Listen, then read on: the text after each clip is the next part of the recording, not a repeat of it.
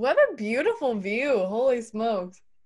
Oh yeah, I'm I'm I'm uh, here in right in the middle in the heart of uh, busy New York, um, on the Upper East Side here. Let me let me see if this will work. How is let me see. How is that? That works. That's good. Oh, good. Okay. Oh yeah, that is a very pretty view. Right? yeah, I'm very lucky to to be up How in high the. up are you? I- I'm on the 45th floor. Okay. Yeah, you can really see everything. I'm so jealous of you right now. You have no idea. really i'm seeing my friends up you know in with with gardens and backyards and i'm jealous of them so it's always Yeah. grass is always greener right exactly.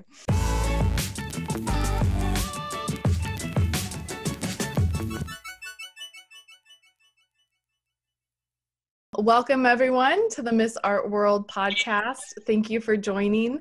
Uh, we have our wonderful co host, Samuel Cooksey, with the Samuel Cooksey Projects. You can find Hello? it's projects with an S, right? Maybe. Oh, okay. He's working on so. multiple projects. I think it's just just the. Samuel Cooksey project because it didn't add an S. Oh, project. Um, you can find him on Instagram. He has he has his own podcast, Samuel Cook- Cooksey Oh, Project. Yes, Cooksey project. Today's guest, we have a New York-based artist, Michelle Sakhai. Welcome, thank you so much hi Michelle. Uh, before we get started, share with everyone where they can see your work. Like, what's the best place to get a visual on your work? probably instagram um, at michelle sakhai art and my last name is spelled s-a-k-h-a-i michelle's two l's and i'm also on my website michellesakhai.com Perfect. So tell us a little bit about your background and how you got into art. Well, I actually uh, started, you know, as soon as I could hold something in my hand, uh, writing material, any kind of writing material, I, you know, started drawing, painting, um, first with watercolors, then at 13 into oils, and then, you know, always been an oil painter since. Um, now it's progressed, you know, changed a bit with working with metal leaf as I do now, the gold, silver, copper. Um, so it's it's evolved but um that's how it, yeah i first started very early on I was just going to say, your work is stunning. For people that are listening and maybe um, can't look at your work right now, uh, you do very large scale pieces. Um, would you consider them abstract? yeah i'm kind of a cross between an abstract um, artist but because i was a plein air landscape painter for over 20 years um, I, I, I do bring a lot of um, figurative aspects into my work. So um, right now I have a show going on called Garden of Peace, and it's all very floral. Um, so that's a bit more realistic than what I'm used to be used to doing. Um, so I've had many different series, some more abstract than others. Right now, it just happens to be not as abstract, but um, I do have that as well. And my work, um, I do have pieces anywhere from the smallest is a 12 by 12 square um, to, you know, I've done 30 feet, you know, much, much bigger. Um, but th- I do have smaller pieces as well. And then how many pieces normally come in a series that you do? Um, all does- different. Yeah, it's it's all different. I think it, it's just you know I work very organically, intuitively. Nothing is planned out. Um, even with the show, I didn't really know what I was going to be showing until month before when I started working on this series um, to see what. And it actually was all during COVID, so it was um, interesting. It's not like I sat there and I said, "Oh, I'm going to paint gardens and flowers," and you know, it was like if you remember you know, with the start of this, you know, the pandemic, it was um, very dark times, and it, but yet it was spring. You know? So it was like so interesting because like here flowers are blooming you know? It's still spring but we're forgetting it's spring you know? So it was like just trying to bring a bit more light into the world when it was you know when it was so dark. Um, but it wasn't planned and um, that's how I, I got into um, a more floor. And I'm, I'm looking at i don't know are viewers going to be able to see this video? Because i'm i could show you a piece that um, I'm talking about that became this right here, um, which is very floral. Oh, that's pretty. And um, I mean, lately I've been getting the, you know, oh, your work is starting to look a lot like Klimt's, and are you inspired by Gustav Klimt? And and I am. So um, you know, I, I guess it came through during the series. When you work with metal leaf, because I'm not an artist, how does mm-hmm. how do you put it on? It's not paint, right? You just kind of like lay it on. I do. So it's it's for those of you out there listening that's probably worked with leafing. It's it's you know how um, difficult it is to get the leafing onto the canvas because it's so fragile. Um, so, you know, I, I sit there with tweezers sometimes to just get each piece on, but mm-hmm. I do layer my whole canvas first before I begin painting over it. Um, and then many times I add more leafing over it. So it's several layers of paint, leaf, paint, leaf, and you have to glue um, it. I do, yeah. There's an adhesive, yeah. There's a glue um, that I use, and yeah, I, I mean, I love love working with it, and and and you know, with oils, it's just it's a lifetime of learning the material and um, I mean, I'm, I'm, I'm always learning something new with oils, and that's what's so great about um, working in that medium because it's just, it's so, you know, it's so deep and um, there's so much to, to learn from it. So, you know, unlike watercolor or acrylics, which I've, I've also played around with in, in the past, but. Mm-hmm. And do you still do any watercolors or no, not really? Um, so right before co- the pandemic, um, I was still teaching at um, the Harlem Hospital, and I work with children there. So we were using watercolors in all of the classes. Um, it's one of the only hospitals that has an art room, so we're lucky to to have that experience. And um, it's just easier with the with kids, you know, to be work with the watercolors. So that's why I chose that medium. Um, well, and it doesn't get all over the place. It's a good one to be like, here, paint. exactly. exactly. exactly. Yeah. Yeah.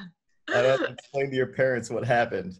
Yes. Yes. I read on your website um, that you believe and trust in the energy of the creative spirit. And I feel like that is very in tune to a lot of the work that you are doing. Yes, very. That's it's, it's it's true.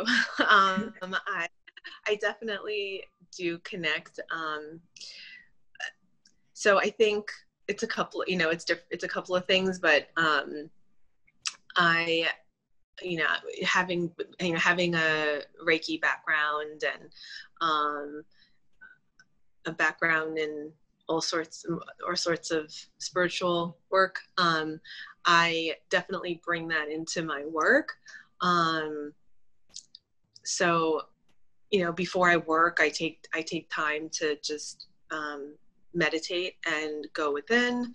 And i and i just channel and let whatever um, it is come through me and onto the canvas. So um, i don't typically start with any ideas or forms or shapes. It just i just allow um, i work with my breath when i work. And it's really just um, it's like I, I just I put myself kind of to the side and just um, or when I say myself I mean like you know my ego self and then just allow um, my higher self just come through and and um, and I'm I'm kind of I am just the, the, the channel you know between my between the work and and myself. So. You said reiki for the people that don't know what reiki is can you explain that Sure, yes. Um, it's a healing modality that um, you basically, um, you can call it chi, life force, um, the universe. I mean, there's many different words for, uh, you know, um, in Ayurveda, they, they, they call it um, life force as well, or, um, but it's, it's, it's the, it's the force within all of us uh, that um, really keeps, you know, anything alive that has it, you know, um, in Japanese we say chi. Uh, I think in Chinese as well. Um, I forget now, but um, it's it's is working with that to heal ourselves and others. So um, you know, you could Reiki anything. You could Reiki animals, babies, objects. I mean, anything. And so I do Reiki my work as well. Um, and yeah, I think that that you know comes through in my in in my pieces. Yeah. Um, so we have, or at least I have never interviewed an artist that uses um, like meditative or breath to create work. Um, for artists that are interested in those techniques, how would you suggest um, like doing research or are there techniques that you can share with our listeners that help you that you would um, suggest for other artists to try? Yeah, absolutely. I mean, for me, it's not like I, you know, studied up up on how to, you know, to um, merge, you know, meditation and art. It's kind of, it was just very intuitive for me because I, I do believe that art is healing, and um, I think, you know, and not just art, but all, you know, creativity and um, you know for all the dancers and singers and you know writers out there that you know it's it's we we do these things i think really in turn to heal ourselves and hopefully it, you know that in turn can heal others. Um, so i think just getting quiet and um, connecting with with the deeper part selves of ourselves and um, being able to um, consciously feel what you know what we're feeling in our bodies. And sometimes um, because when i work it's it's it's all very um, authentic. You know i'm not if, if i'm feeling a certain way i'm not trying to change my feelings. So let's say i do have um, feelings of sadness or anger or fear that come up in my in and you know what i do is i don't i don't try and um, you know put those feelings to the side or think of positive thoughts you know?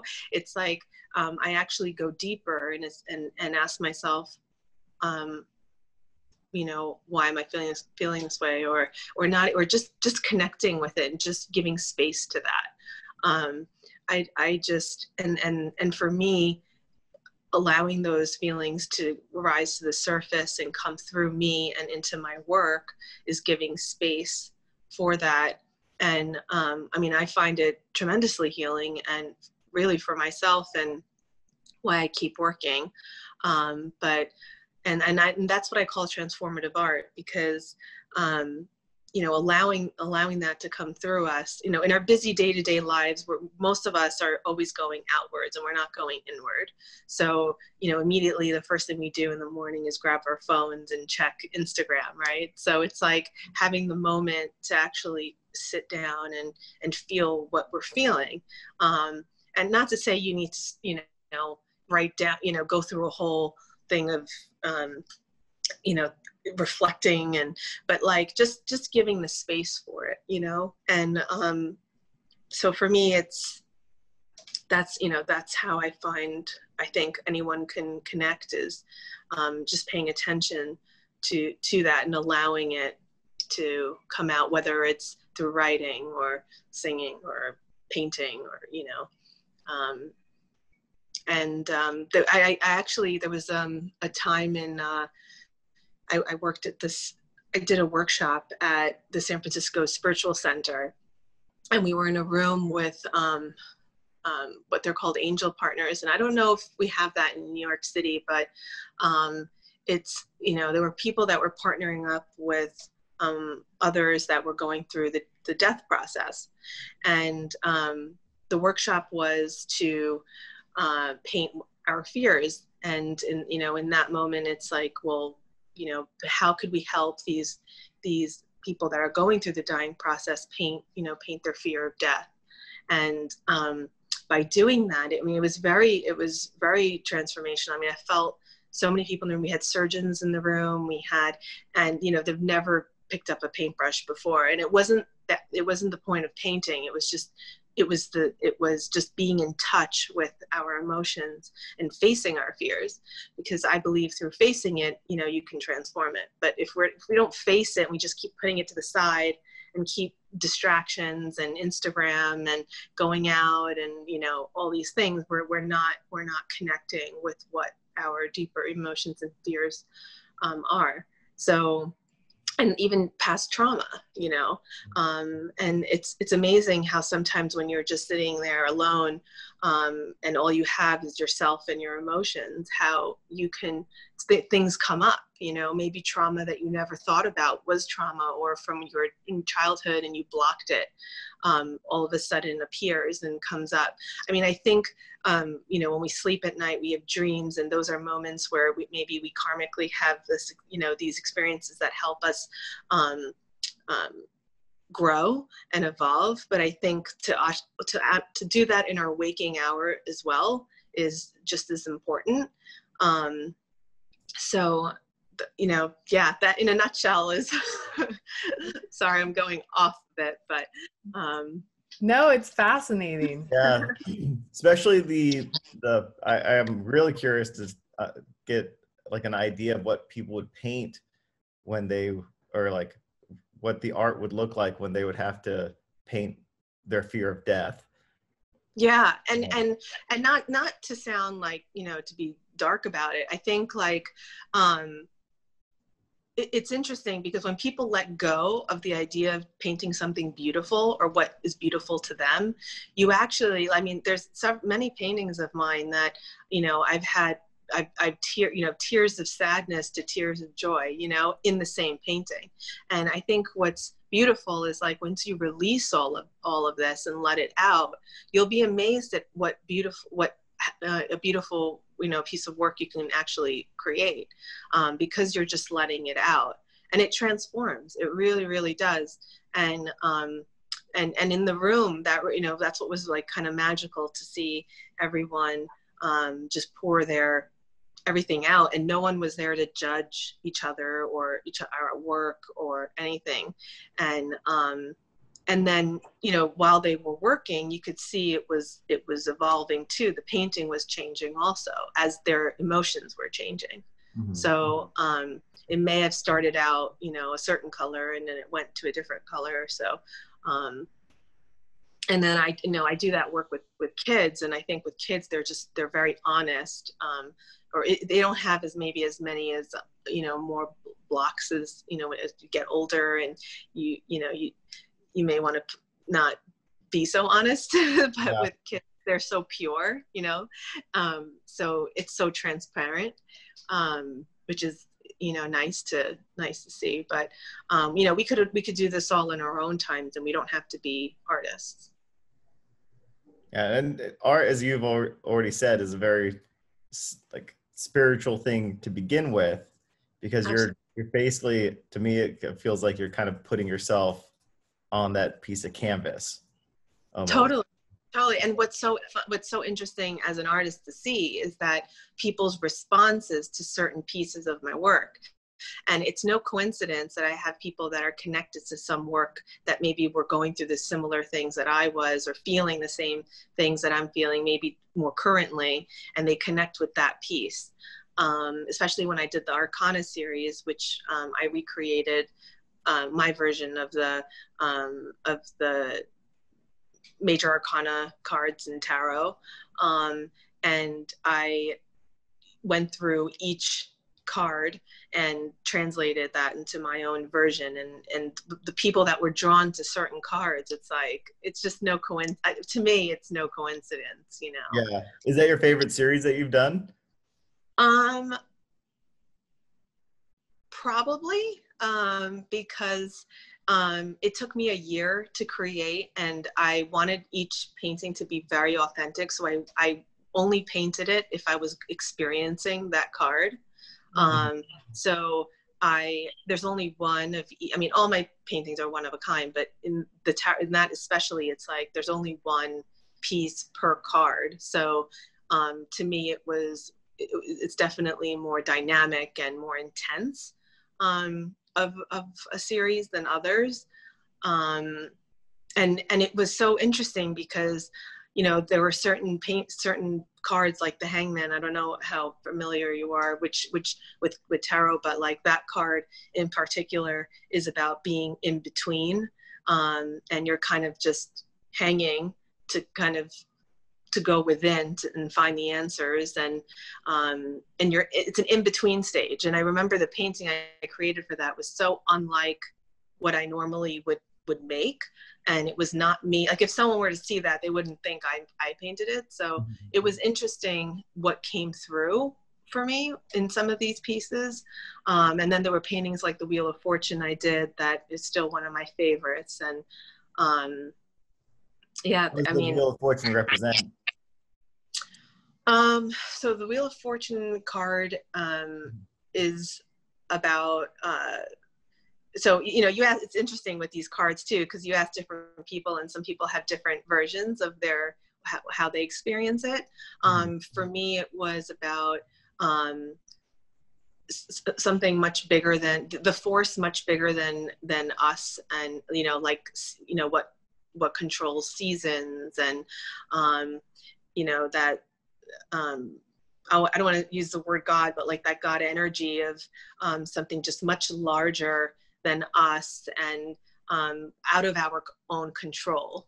Um, and it's like, well, how do you paint that? How do you how do you express something like so big, right? Like that's that's you know so limitless and and and it goes way beyond the human physical form.